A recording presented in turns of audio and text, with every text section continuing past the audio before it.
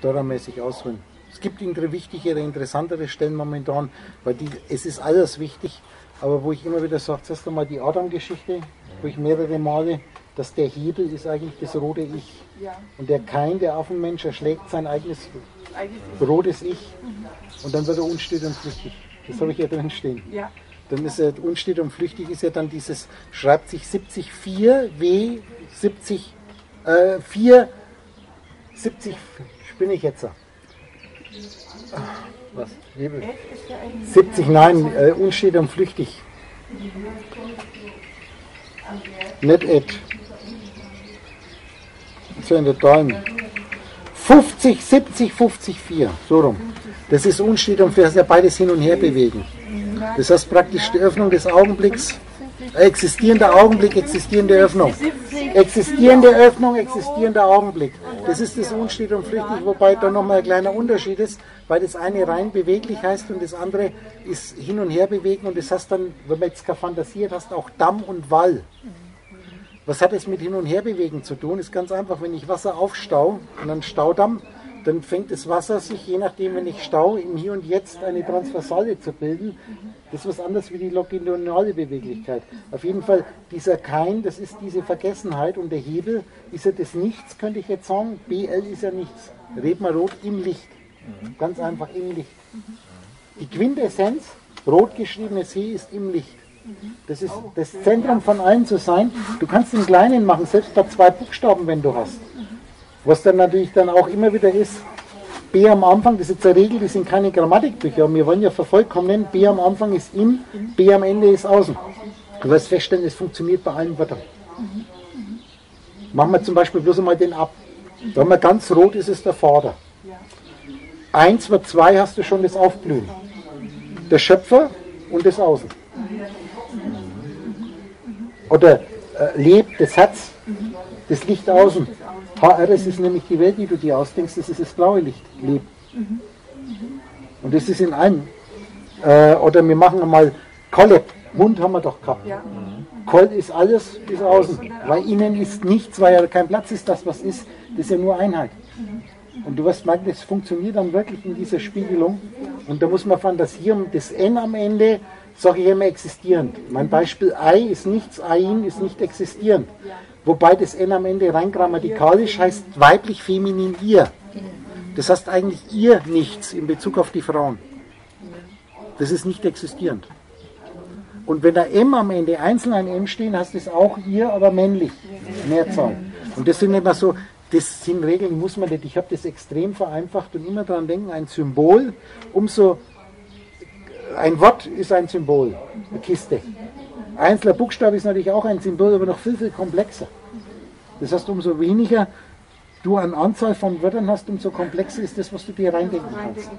Und das ist immer die erste Ebene, ist ohne Hebräisch diese 54 Zeichen, und ich nenne die 27 Schöpferkräfte und dazu die Entsprechungen 27 Phänomene. Die korrespondieren, die musst du spiegeln. Ich will nochmal sagen, das Dali, das sind eigentliche Sachen, was stelle ich mir unter einem roten D vor? Und ich sage, mach einfach hier so. Und nach außen ist es blaue. Das rote He ist die Quintessenz. 1, 2, 3, 4, 5. Und das blaue sind die ganzen Wahrnehmungen drumherum. Weil die sehe ich ja. Wird automatisch zur Vielheit. Dann, wie mache ich ein rotes Duff? Was ich jetzt einfach mal als Erscheinung nehme. Ganz einfach, das alte Duff ist ein X. Und dann hast du, dass das Duff, wie oft wechselt in der Dora He und Duff am Ende? Weil eben die Quintessenz ist, ist in dem X das ganz alte Duff. Du, und das war das, was ich dich gefragt habe, dass du das He und das Taff hattest du in dem einen Wort äh, Und du kannst das ist- Da hab ich gedacht, warum machst du das eigentlich? Ich sehe zwar, dass es was miteinander zu tun hat, aber ja. Es ist selbst ein Okay. Fehler, ist nur, es gibt Aber überhaupt toll. nichts, was keinen Grund hat, sonst wäre es nicht da. ja. Du kannst nur dich beobachten, wie du interpretierst. Ja. Und der einfachste Weg ist, einen Sinn hat, sonst wäre es nicht, weil alles, was auftaucht, Ja, ja. hat einen Sinn. Ich muss es nicht interpretieren können, es reicht, wenn ich was, der alte Gangster da oben hat sich was gedacht. Das, ja.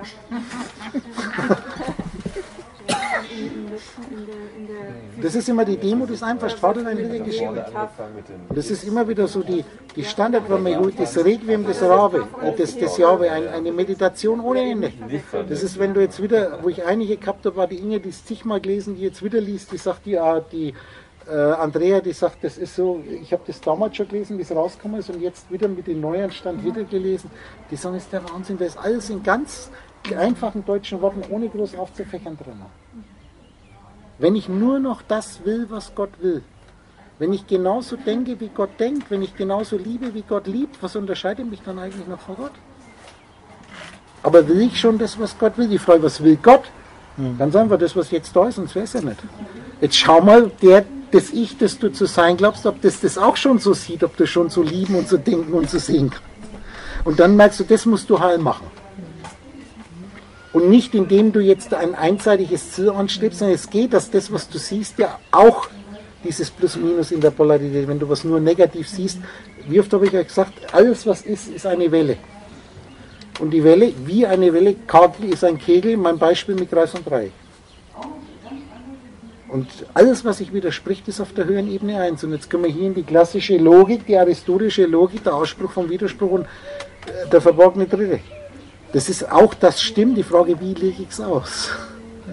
So wie ich jetzt das mache, dass ich die Sätze, darum habe ich das auch mehrere Male wiederholt, dass ich immer wieder darauf hinweise, dass du von mir nie hören wirst, dass in irgendeinem Buch, das du dir ausdenkst, was Verkehrtes drinsteht. Aber wir haben natürlich jetzt tausende von Büchern, die sich total widersprechen in Bezug auf, auf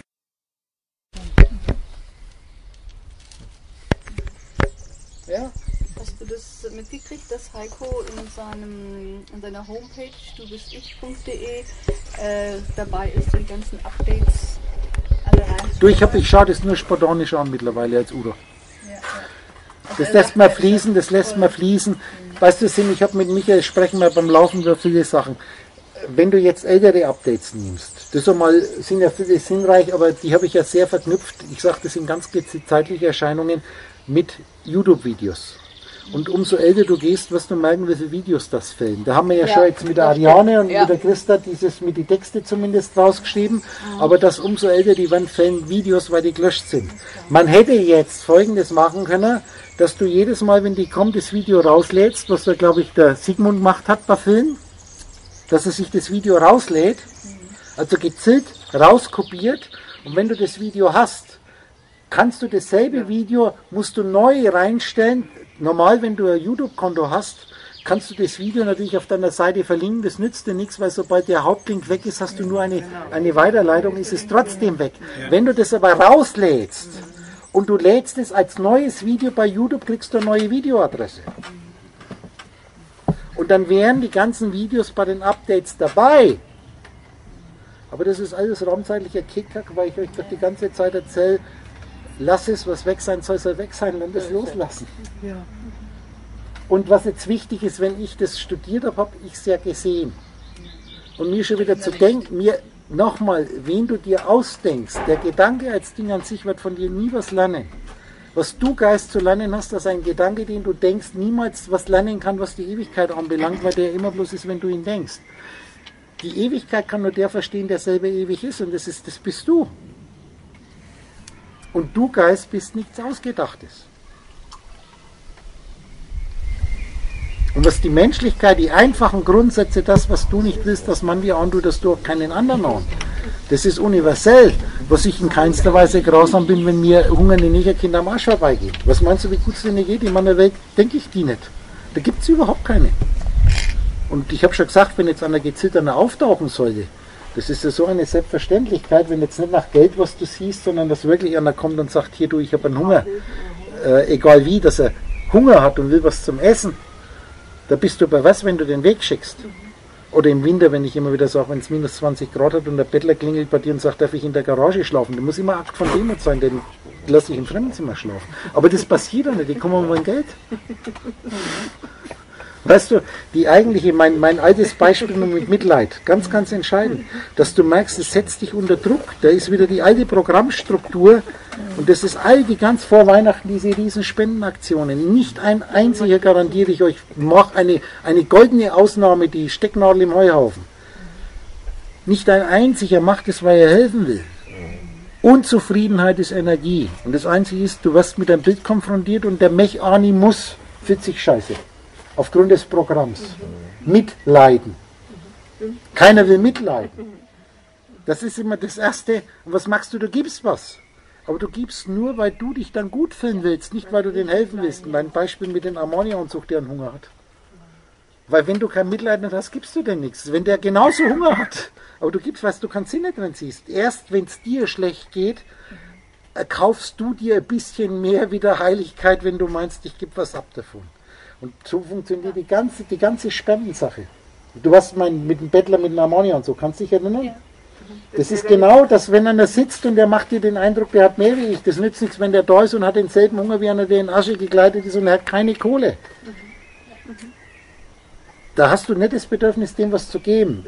Vielleicht Neide, schau dir, was der für einen Anzug hat und eine Rolex. Und weißt du, ja, ja. das ist, und dann ist nichts, da ist nichts, obwohl der ja nur um ein Stück Brot bettelt, weil er nichts essen kann. Der kann den Anzug und die Rolex nicht essen.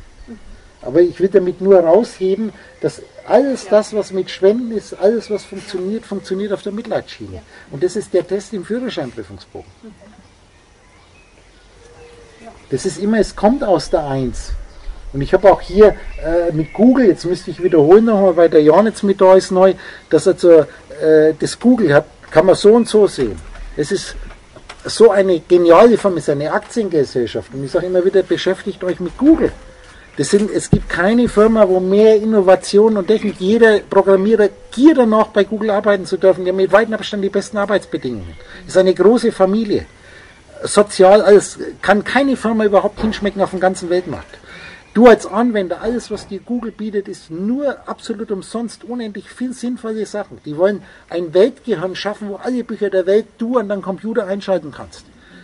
Haben sie ja angefangen, alles auf eigene Kosten. Die waren bei Universitäten, weil es ein Riesenfilm auf Arte, aber natürlich negativ. Die haben Google als Buhmänner hingestellt, wegen Urheberschutz. Und das ist also das große Problem. Die alten Bibliotheken sind ja jetzt schon viele drin. Das ist ein, ein, ein Millionen, Millionenprojekt, wo die sagen, wir machen das. Jetzt ist, weil die wollen, ist ja Aktiengesellschaft. Gut, die müssen das finanzieren, aber so wie die das finanzieren, mit dem Klaus habe ich da genauer gesprochen, das kriegst du, äh, zeig mir auf Google selber, wie viel Werbung ist. Jetzt kannst du sagen, die Manipulation. Ich will jetzt da nicht ins Detail gehen, mir geht es um die Bücher. Jetzt kommen die Autoren, die sich unheimlich aufführen, weil viele Bücher, die noch Urheberschutz haben, die sind bei Google Books was jetzt wichtig ist, dass du die nicht runterladen kannst. Du kannst bei Google Books nur die Bücher runterladen, wo kein Urheberschutz drauf ist. Und die Bücher von Autoren, wo sie eingescannt haben, wo Urheberschutz drauf ist, kannst du nicht die Bücher, die kannst du nicht einmal lesen, sondern die haben innerhalb der Bücher, da die gescannt sind, wenn du irgendeinen Begriff suchst, kannst du über Google Books diesen Suchbegriff von dir auch in diesen Büchern nachschlagen, aber bloß immer die Seite, wo der Begriff vorkommt, plus minus ein, eineinhalb Seiten im Kontext. Aber nicht das Buch rausladen. Das heißt, auf jeder dieser Seiten, wo so ein Buch benutzt wird vor Google, ist ganz groß, Amazon ist Werbung, wo du dieses Buch kaufen kannst. Das heißt, die machen kostenlos Werbung für dein Buch. Und da haben sie was dagegen? So, absolut. Urheberschutz und Ausbeuten, ganz, ganz groß und Google und Feindbild, dass die ja sogar Werbung machen für dich. Das ist, das ist so krank. Und das ist immer mit dem Urheberschutz. Und wir haben wieder, der Kugelschreiber schreibt, letztendlich, wenn du das ernst, wenn du Urheberschutz magst, dann gehört alles dem, von dem es kommt. Also, wenn der Kugelschreiber hier Geld verlangen würde für das, was er geschrieben hat, nein, dann kommt der Goethe. Habe ich gerade erklärt auch ein. Lese mal Goethe-Geschichtsbücher. Goethe war absolut stinkfaul, was das Schreiben anbelangt. Der hat schon in ganz jungen Jahren einen Sekretär angestellt und du kannst in jeder Goethe-Biografie nachlesen, dass 80% aller Goethe-Werke hat er nur diktiert. Geschrieben wurden die von seinem Sekretär. Das heißt, wenn wir es jetzt genau nehmen, dann müsste ja, wer hat es geschrieben? Goethe. Dann muss ja Goethe, sein Sekretär, die ganzen, den Lob einheimsen. Na nee, der Geist war ja der Goethe. Jetzt machen wir wieder. Kugelschreiber schreibt die Hand. Wieso macht es die Hand, weil ein Mensch dran ist? Wieso, wieso macht der Mensch das, weil es ihm einfällt? Eigentlich ist der Mensch, dem das einfällt, der Sekretär von dem, der den benutzt, dem er das einfallen lässt. In der Beziehung. Du bist dabei? Also verdient hat es der, der wirklich die Quelle ist. Also bitte, dann sind es meine Tantiemen. Aber ich schenke es euch doch, ich will doch gar nichts dafür. Was ich natürlich widerlich finde, wenn ich an was schenke und er macht eine riesen Kohle damit und fühlt sich auf, als wenn das seins wäre. Ich habe euch in Gespräche mit Gott in einem Band, wo in einem der Gespräche mit Gott Bände geht ganz am Anfang. Hier, warum hast du Millionen mit den Büchern verdient? Ja, wollte ich doch gar nicht. Die haben es mir doch angeboten vom Verlag. Du hättest ja ablehnen können. Sagt Gott zu Donald Welsh. Und das ist so Sachen der Lisbeth, das sind so entscheidende Stellen, dass ich sage, mache ich aus was, was man mir schenkt, wenn es ich umsonst kriege, gebe ich das weiter. Ja, aber ich muss ja für irgendwas leben. Und das ist jetzt das, was ich euch als Udo vor. Das ist nie mein Bestreben gewesen. Das ist es Geben. Und dann kommt automatisch, da bin ich auch einmal drauf eingegangen, dass viele dann den Udo auch was geben wollen. Aber nicht, weil ich sage, ihr steht in meiner Schuld, sondern weil die zu schätzen wissen, was sie gekriegt haben, wie wertvoll das ist und die wollen den Udo auch ein bisschen was kommen lassen, zukommen lassen. Wobei ich immer wieder, das ist bei allen, ob jetzt der Jürgen, egal was ist, ich sage, kann er da was mitbringen? Ich sage, Jürgen, ich habe alles. Ich sage immer wieder, ich bin mir nicht fein genug, wenn wirklich was mangelt, dass ich anklopfe, wenn du mir was angeboten hast, aber solange mein Kühlschrank immer gefüllt ist oder was, alles andere liege ich eh keinen Wert. Und was jetzt so, wenn materielle Sachen, wenn ich jetzt mal einen Computer sage von der Inge, wobei da zig andere auch ankaufen wollten, da sagt die Inge jetzt ganz klar, das für sie als ich war immer Geschäftsführer, das war die beste Investition, wo ich jemals gemacht habe, weil seitdem kriege ich die Updates. Das ist auch immer wieder der Verstehst du, also so selbstlos merkst du das, wie sich das hochschauen kann, wenn man das mit Geist sieht. Ja. Und da ist es immer wieder, wenn man schaut, das ist so, äh, schaut jetzt in dem Programm durch deine Brille in dich selber rein. Das ist jetzt nicht kritisieren, sondern Selbstbewusstsein. Ich kann euch sagen, jetzt reden wir von Mensch zu Mensch, so wie man normal denkt. Dass ich also ganz, wenn ich den Udo immer wieder analysiere, ich kann nämlich reinschauen, wenn einer sagt, wünsch dir was, ich wüsste wirklich überhaupt, ich bin absolut wunschlos glücklich als der Brösel-Udo. Ich wüsste nicht im geringsten irgendwas, was ich haben müsste, was man für Geld kaufen könnte. Und ihr wisst, wenn ich immer sage, wenn ich jetzt die Macht eines Gottes hätte, denkt nur materialisieren. Ja. Es ist alles perfekt. Ich, wenn ich alles verändern könnte, ich wüsste nicht, was ich verändern soll. Es ist einfach so perfekt, aber das kann erst einer sagen, der wirklich die Perfektion sieht, wenn du geheilt bist.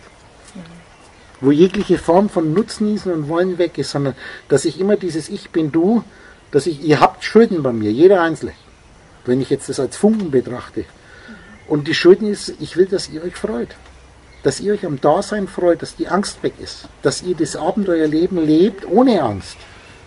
Das, wie ich gesagt habe, der Film, die Geschichte. Das Bessermachen, ein, jedes einseitige Ziel, das du anstrebst, ist nicht Heilung. Es bleibt einseitig, egal wie du die einseitigen Polaritäten in gut und schlecht definierst. Und wenn du deinen Traum als Film siehst, Jan, da warst du gerade nicht da, wie mache ich einen Film besser? Mache ich einen Liebesfilm besser, wenn ich die Missverständnisse am Anfang rausmache? Mache ich einen Krimi und einen Actionfilm besser, wenn ich den nur so schreibe, dass keine Mutter und keine, keine Dinger? Wird dann der Film besser, der Krimi, der Liebesfilm, egal was, wenn ich das Böse rausmache aus dem Film? So verbessere ich den Traum nicht, im Gegenteil, noch, noch reinhauen, noch mein reinhauen. Das, boah, noch spannender. So mache ich den Film besser. Merkst du, wie jetzt wieder die Moral umkippt? Das ist, das ist Verständnis, dann wirst du Geist. Hm? Ja, wir machen den Hund jetzt noch geiler. Ja. Hat der Janne mitgekriegt? Ja? Der ist so schön. Der ist so schön. Der ist so schön. Extra für den Jan. Mit Ariane und der Dieter kennen den auch nicht, oder? Was? Also ich bin ja spazieren, gehe so viel spazieren und da ist bei uns Oma Aussiedlerhof. Und da habe ich, das ist ein großer Bauernhof, Aussiedlerhof, und da sehe ich hier einen total geilen Hund, habe ich gesagt. Und dann ist hier so außen so ein Innenstall und dann geht er rein und knattert die komplett alle Enden durch. Ich schau mal, hey, das gibt's ja überhaupt nicht. Was ist das für ein Wasser? Denke ich mir, er raus aus dem Endstall und geht rein in den Hühnerstall, was das? Entschuldigung, geht rein in den Schweinestall. Ein großer Schweinestall, ist ein ganz großer Aussiedlauf. Und dann schaue ich so und dann springt er auf jede Sau drauf und knattert jede Sau durch, die hängt die Zunge raus. Jetzt pass auf, jetzt kommt er, jetzt fängt er, ich merke schon, da ist er schon, wenn schwächelt er schon. Er dorgelt, er dorgelt aus dem Schweinestall raus, er dorgelt schon und geht rein in den großen Kuhstall und macht wirklich eine Kuh nach der anderen durch. Aber ich bin jetzt natürlich neugierig und ich denke, oben, wie er rübergedeutet ist, sind am Himmel schon die Geier gekreist, wo du merkst, der recht lang macht das nicht mehr. Also er kommt raus aus dem Kuhstall jetzt merkst du, jetzt du das nicht mehr lang und drüben ist ein Pferdekoppel. Aber das hat er nicht mehr geschafft. Er ist dann in der Mitte zwischen den Kuhstall und der Pferdekoppel zusammengebrochen. Und jetzt gehe ich dann zu ihm hin und stupse ihn so an und sage, jetzt hast du dich doch aber nochmal kleiner. Und was, was er macht, schau, so So macht es. Hau ab, du Depp, du vermasselst mir die Tour mit die Geier.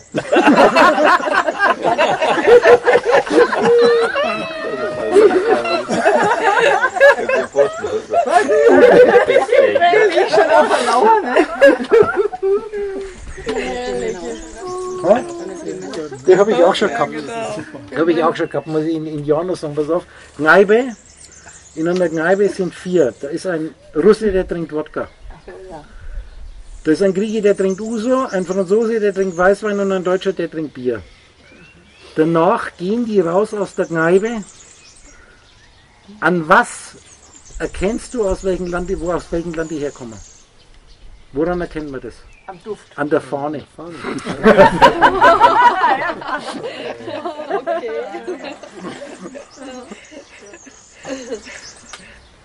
Ja. Das auch immer noch. Genau, Duftfeuer. Oder Fahne, ne? Fahne ist noch, ja. Sitzt noch einen drauf. Ja, so ist es.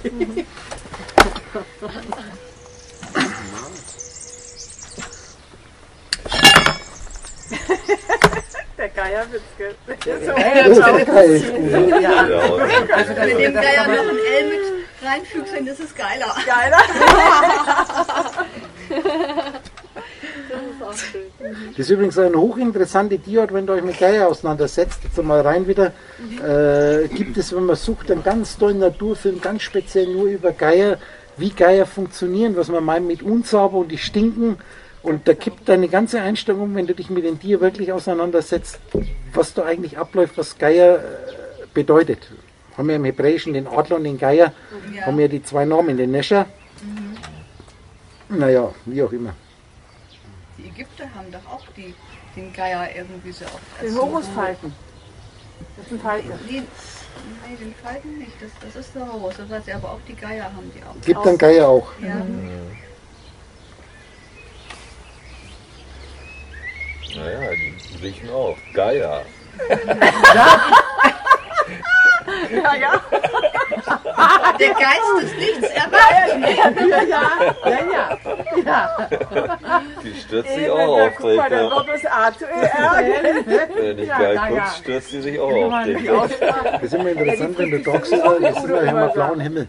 Wenn du den Mond so wie jetzt bei dachblauen Himmel hast und du schaust dir, wenn jetzt so ein voller wird, die Situation, müsste mal, es gibt ja Situationen so wie jetzt, wenn jetzt ein bisschen Wolken wären.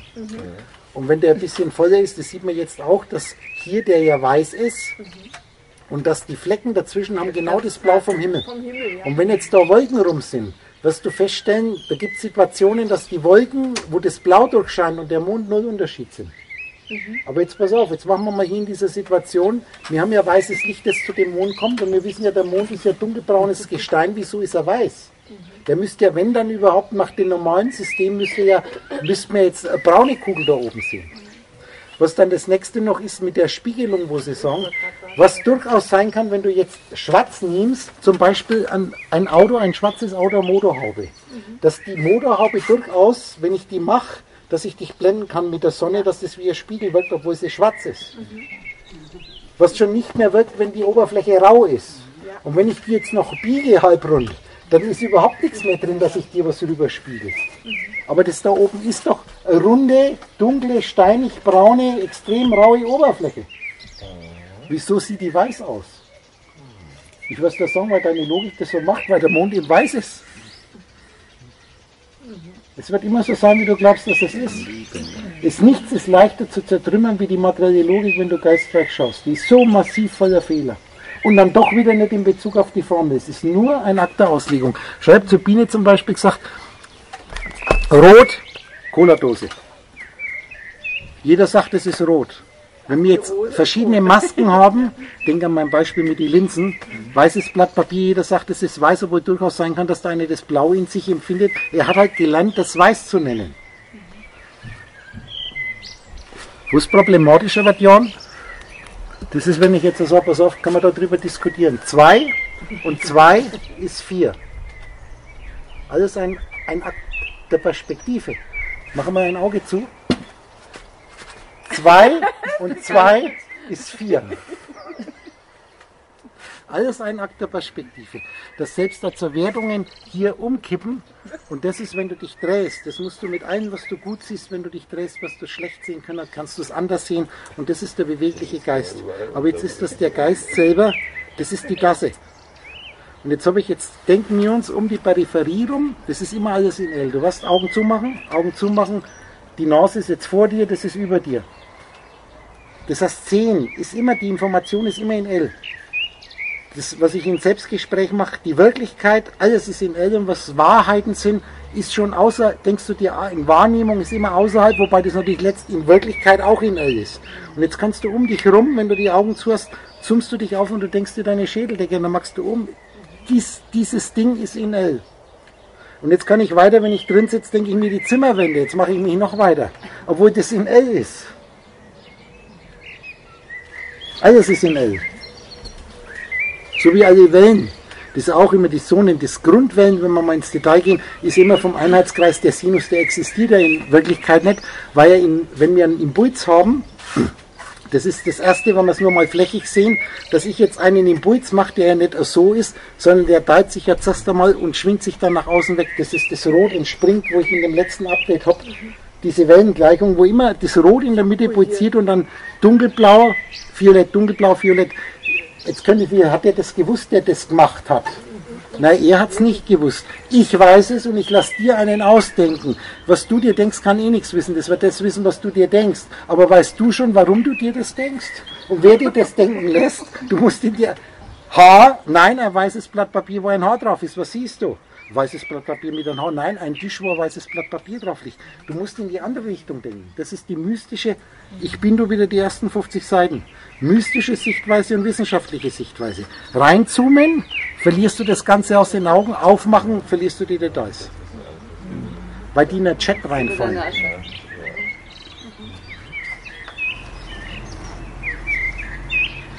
Das eine und das andere. Eben, du brauchst die 7 und die 8.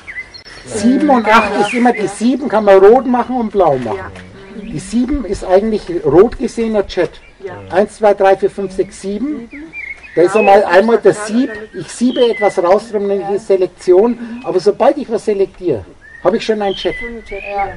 Bücherregal ist ein Chat, ich siebe ein Buch raus und sobald ich nur das Buch anschaue, das ich gesiebt ist, nur die Moment des Reinlangens könnte ich sagen und das Buch ist dann schon wieder das, was ich gesiebt habe, ist, darum ist 7 ist die neue 8. Das ist wieder eine 1, aber mit einem Inhalt, den man einfach als Einheit sehen würde. Gott. Selbst die Kanne auf dem Tisch. Ich habe jetzt viele Bilder, Kanne auf dem Tisch, die habe ich jetzt rausgesiebt und sofort habe ich wieder ein, eine Sichtweise, weil die ganze Kanne sehe ich nicht. Und dann haben wir, wenn wir runtergehen, 7 ist 8 ist die neue 1 und jetzt können wir die erste Oktave mit der zweiten vergleichen. 8 ist 1, weiblich. Interessant, A, Chat D, weibliche 8, weibliche 1, 2, das zweite ist die Frau, das erste ist der Mann, ab aufblühen. Eins war zwei. Ist es interessant? Chetty ist ja in Schrecken versetzen, ich werde in Schrecken versetzt. Das ist das, der Dreieck. Was passiert da? Auf der ersten Ebene, die 1, die zur 2 wird, wird die 8 zu 9, nämlich zu 9 Existenzen, das sind die Spiegelungen. Auf der ersten Oktave werden die 2 in der Synthese, 3 Geist und die Spiegelungen werden dann drittes, auf der zweiten Oktave ist 10 ist der kleine Gott. Jetzt gehen wir mal runter. Die 7, das was ich heraussiebe, das ist eine Existenz. Siebte Ton in der zweiten Oktave. Und so wie die 7 sofort eine 8 ist, wird jede Existenz, jede 50 zu einer raumzeitlichen Erscheinung. Ihr werdet merken, es ist ein System, es wächst, aber nur die Komplexität. Und die Grundsymbolik muss man verstehen. Ich mache die 8. Ich sieb mich. Dankeschön, Dankeschön, Dankeschön. Und ich gehe. Willst du noch in Dortmund? Wie sind wir in der Zeit? Ich, ich gehe. Wie sind wir in der Zeit? Du, du musst noch bleiben. Geh auf meine Maus. Ich muss mir auf meine Maus hören. Ich sage das immer wieder, das macht Ja, meine alles, Maus. was du sagst, ne? Sowieso. Ja. Hast du wieder Uhr? Ich hab doch keine Uhr. Schau, jetzt muss ich wieder machen. Was, was ist das Inge? Früher haben wir gesagt, das sind meine Nerven. Das ist der Udo in den Händen seiner Frau.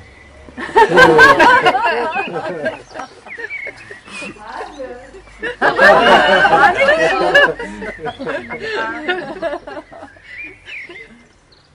ja.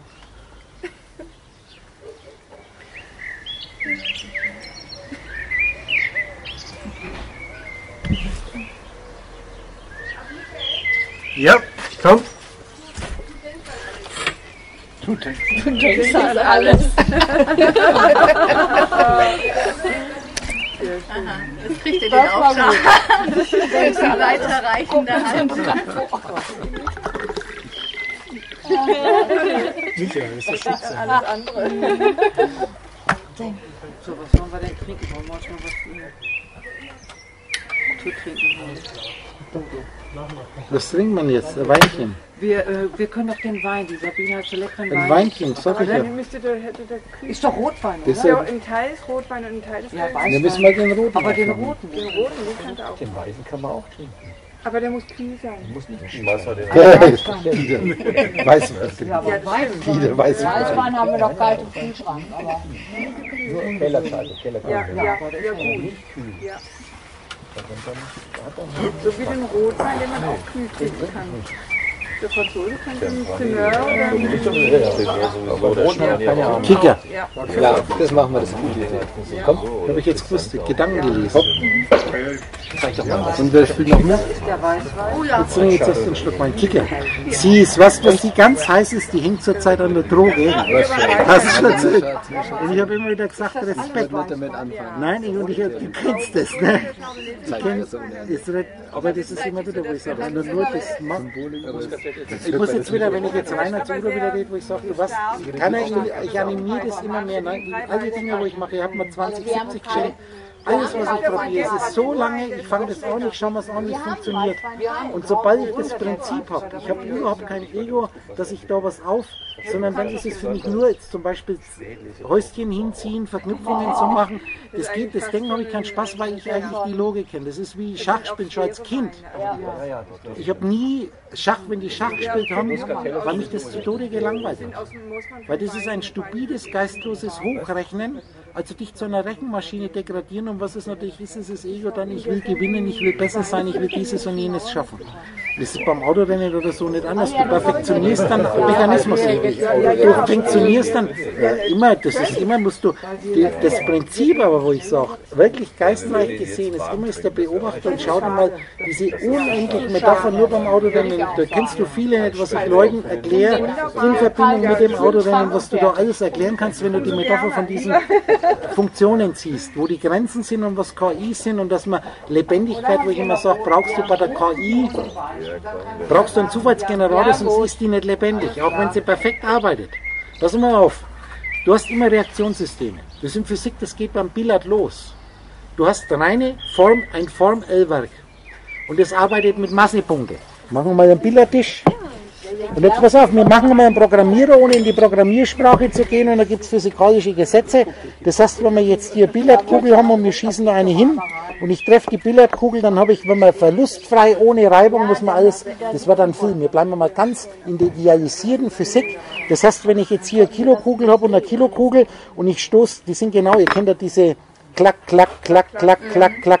Wobei übrigens, in dem Prinzip hast du eigentlich schon die Lichtgeschwindigkeit drin. Weil wenn ich jetzt Stahlkugeln habe, du hast ja drei Stück und wir lassen eine hinfallen, zack, zack, zack, zack. Das kommt dann, weil es nicht ideal ist, aber im Idealfall ist es ja so, dass die Kugel hinkommt, zack, und dann fliegt die im selben Moment weg. Jetzt gibt es in der Physik den Tunneleffekt, wo die dann sagen, es gibt Überlichtgeschwindigkeit und so. Das sind alles Schwätzer, wenn du das genauer anschaust. Aber pass auf, machen wir mal das in den Ideal, klack, klack. Klack, klack. Jetzt pass auf, es ist jetzt wurscht, ob da zwei, drei, vier, fünf Kugeln sind. Jetzt denken wir uns mal da 100.000 Kugeln. Wir denken uns da 10 Kilometer Kugeln. Da passiert folgendes. Klack, klack, klack, klack. Wie lang braucht der Impuls von hier nach hier? Da gibt es keine Zeit mehr. Verstehst du, was ich meine? Klack, klack, klack, klack, klack. Ob das zwei sind, klack, klack. Im idealisierten Fall kann ich das 100.000 Kilometer machen. Klack, klack, klack, klack, klack. Das ist der Tunnel, wo man sagt, Tunnel, dann geht es mit Überlichtgeschwindigkeit. Blödsinn. Es ist jetzt. Es gibt keine Überlichtgeschwindigkeit, weil mit Lichtgeschwindigkeit Lorentz-Transformation ist ja Wurzel 1 minus v Quadrat durch c Quadrat. Das ist die Lorentz-Faktor. Die man immer als einsetzt. Ich zeige dir dann nochmal, wenn es dich interessiert. Oder geht schon los? Der wird ja vernachlässigt, der Lorentz-Faktor bei normalen Geschwindigkeiten. V Quadrat durch C Quadrat, alles was wir an normalen Geschwindigkeiten haben, selbst jetzt meinetwegen, wenn wir sagen, wir nehmen ein Flugzeug mit 1000 Kilometer in der Stunde, wäre dann V Quadrat 1000 Kilometer in der Stunde durch 300.000 Kilometer in der Sekunde, wäre, wir sagen einfach mal hier 1000 durch 30 Millionen ist 0,0000000, okay? Das heißt, es ist praktisch v Quadrat durch c Quadrat ist immer praktisch 0 und dann hast du den Lorentz-Faktor Wurzel 1 minus 0. Und darum setzt man immer den Wert 1, wobei hier der große Wert ist, dass Wurzel 1 ist plus 1 minus 1, ist eigentlich nichts, aber jetzt gehen wir mal, jetzt betrachten wir das bei Lichtgeschwindigkeit, also v Quadrat ist gleich Lichtgeschwindigkeit, dann hast du dieser Lorentz-Faktor. Wurzel 1 minus v Quadrat durch c Quadrat wäre 300.000 durch 300.000 ist 1, Wurzel 1 minus 1 ist 0, dann hast du Wurzel 0. Und jetzt ist es, das steht definitiv in jeder Gleichung. Und jetzt passiert die Länge mal 0. Das ist nämlich bei der Länge, dass die schrumpft, ist die Länge mal den Lorentz-Faktor, der immer normal 1 gesetzt wird. Dann ist die Länge halt die Länge, der Abstand. Und das heißt, es ist, die Länge ist definitiv, wenn man 0 macht, ist nichts. Bei der Zeit steht es Zeit t durch den Lorentz-Faktor und dann hast du es dann praktisch die Zeit durch 0. Darum wird die unendlich groß. Das ist eigentlich ist immer null, sind immer Teilungen durch null. Sobald du in Lichtgeschwindigkeit denkst, löst sich alles in nichts auf. Und Teilungen durch null sind nicht erlaubt. Aber wer teilt letztendlich? Was ist das, was in sich selbst etwas teilt? Das ist null. Die Wurzel ist null. Das ist Gott, das ist der Geist, den du nicht denken kannst. Und weil er sich teilt, wird aus dem Nichts etwas. Weil Unterschiede plötzlich entstehen. Wie ich immer sage, das Meer, das wir jetzt als Symbol nehmen, kannst du normal nicht denken. Und jetzt aufpassen. Ich mache statt ein Meer kann man auch die Gnede machen. Die Gnede ist jetzt gezielt von uns bewusst etwas Gedachtes, wo wir wissen, das kann man in keinster Weise bildlich vorstellen. Oder das Meer. Und es nimmt eine Form an. Du Geist bist das, was immer ist und deine Informationen in deinem Traum. Das ist diese reale Welt. Ist das, was du siehst. Das ist etwas Nicht-Seiendes und etwas Seiendes, wenn wir es mal so sehen. Und jetzt spiegeln wir das. Was meine ich damit? Dass definitiv hier dieses Nicht-Seiende, das wir uns gegnetet, was wir uns denken, oder ich mache es anders. Das Meer, das wir uns jetzt denken, das in Wirklichkeit nichts ist. Ist es Meer? Was sind jetzt die Wellen auf dem Meer? Definitiv sind wir nur Wasser. Das heißt, die Wellen ist zwar ein Unterschied, aber das, was ist, das Wasser, das Meerwasser, ist das Einzige, was existiert. Richtig, aber wenn ich jetzt weiß, dass dieses Meer nichts ist, was sind dann die Wellen? Also das, was du siehst, das, ist, das musst du jetzt spiegeln. Was du als Sein siehst, ist eigentlich das Nichtsein. Und das ist genau diese Spiegelung, was nur am Anfang schwer ist, wenn du materialistisch denkst. Was ist die Materie in einem Traum, wenn du träumst, wenn du nicht weißt, dass du träumst? Es ist so real wie das. Ich meine, Gott sei Dank, ich habe das bloß träumt. Ein Zeichen, wenn ich träume, weiß ich nicht, dass ich träume als Geist. Solange ich nicht weiß, dass ich träume, ist es für mich vollkommen real. Wenn ich schweißgebadet hoch war, im Moment des Erwachens, Liliane, genau im Moment des Erwachens sage ich, oh Gott sei Dank, ich habe das bloß geträumt. Was heißt das? Was fällt dir im Erwachen auf? Dass das, was du jetzt denkst, was du angeblich, was du jetzt denkst, was du vorher erlebt hast, dass das nur in deinem Kopf war, dass das gar nicht existiert hat. Das merkst du im Moment des Erwachens. Das Problem ist, in dem Moment, wo du da sitzt, bist du schon wieder eingeschlafen. Weil du schon wieder materielle Welt hast, du hast schon wieder vergessen, dass wenn du wach wirst, schläfst du eigentlich wieder ein. Das ist es Umdrehen. Oder was darf ich dir kredenzen? Ist mir wurscht, einen kleinen Schluck. Wurscht. Das ist immer wieder, schau mir mal meine Hand in die Hand, das ist immer, wenn ich sage, fühlt sich total echt an. Kredenzen. Ist sie aber nicht. Jetzt ist wer füllt. Da füllst du die Hand. Weißt du, das ist immer wieder das Prinzip. Autofahren, das ist, das ist. Konstrukt. Es ist rein ein Konstrukt und jetzt macht das Phantomschmerz noch dein Gehirn, gaukelt dir vor, dass jetzt du da deine Hand mit meiner Hand sich geschüttelt haben. Du denkst dir das aus, aber es ist inhalt. Auch neurologisch, erst wenn es da oben drin ist, spürst du es. Du siehst es und es ist da. Da jetzt die Bilder, die du hast, physikalisch ja nur Licht ist, das auf dich zufliegt. Und mein Raketenbeispiel, sehr vereinfacht. Wenn sich was mit Lichtgeschwindigkeit ist, fliegt los und es ist da.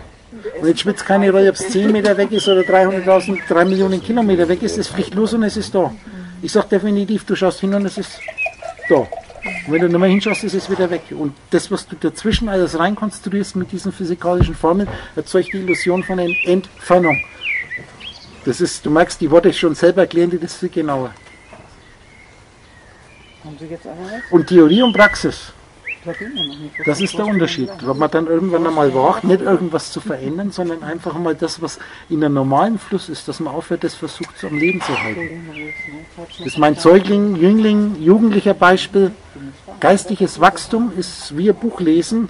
Ich komme nicht ans Ende, wenn ich die Seiten nicht umblätter. Wobei, was kommt, war schon, bevor ich es gelesen habe und was ich lese, ist immer noch da. Auf der höheren Ebene löst die Zeit sich in einen Chat auf. Und jetzt ist natürlich, dass das Buch oder der Film einfach